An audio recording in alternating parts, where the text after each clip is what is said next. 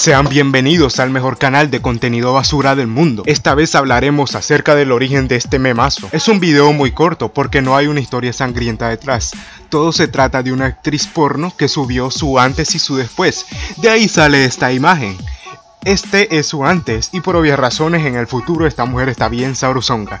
Y como todo buen meme sobreexplotado, les dejo estos memazos genéricos que encontré tecleando palabras en Google.